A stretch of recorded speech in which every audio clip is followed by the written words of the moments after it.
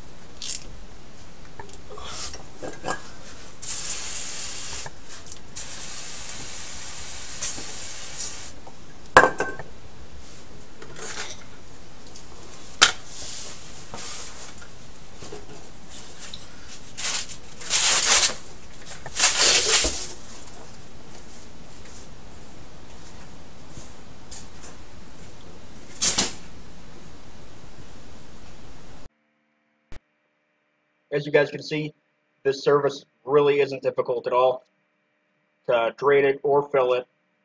So it should be part of your regular maintenance to keep everything fresh on your truck. Uh, now that we've finished decarbonating the motor, the oil change, a quick little trans service, and servicing the rear end, now that this thing's ready for an eight-hour drive down to Indianapolis to pick up the motor for my MG. Thanks for watching, guys. Please subscribe for more videos. Any tips, comments, leave them down below. I'll read them. Any particular, if there's any particular job you want to see, let me know, and I'll try to get my hands on it for you guys. Thanks for watching. Bye.